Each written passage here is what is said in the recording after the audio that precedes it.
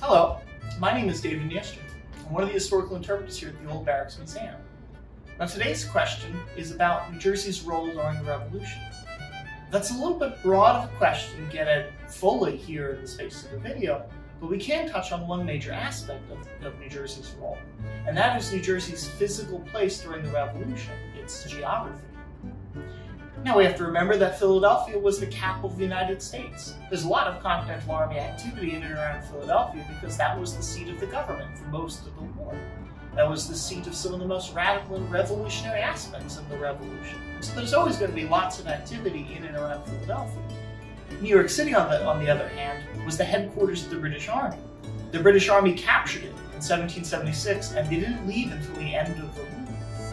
And so anytime either side wanted food or forage or firewood, they came to New Jersey to get it. If they just wanted to seek the other in battle, they came to New Jersey to do it. So there's a whole series of conflicts and major actions through New Jersey. During the 1776 campaign, the British Army took New York. The Continental Army fled through New Jersey mostly. Uh, shortly at, towards the end of the 1776 campaign, with the battles of Trenton and Princeton, some of the most essential battles of the conflict, battles that helped save the Continental Army from completely falling to pieces, happened right here in New Jersey. Now, after Philadelphia was captured in 1777, New Jersey was still a major spot. The British hadn't captured New Jersey, and so it functioned in many ways like a depot for the Continental Army. It sought food, it sought forage, it sought uniforms and ammunition, and New Jersey and Trenton especially served in that purpose.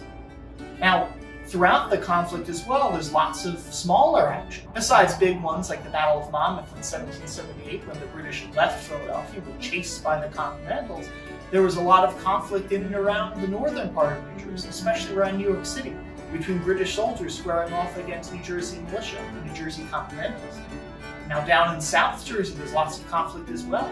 In Salem County, there's a number of really important battles fought between the Jersey militia and British forces, especially a lot of loyalists, many of whom were from New Jersey. Throughout the Pine Barrens, there's lots of conflict between what both sides described as bandits. Along the coast, you've got conflict in what many have described as the whaleboat wars, with, with both forces fighting in whaleboats. There's lots of conflict throughout New Jersey, and all of it a natural result of New Jersey's physical place stuck between Philadelphia and New York. It was what many historians have described as the crossroads of the American Revolution. And it's a major story that we like to tell here at Old Barracks. Now, thank you for asking that question, for helping us bring history to life together.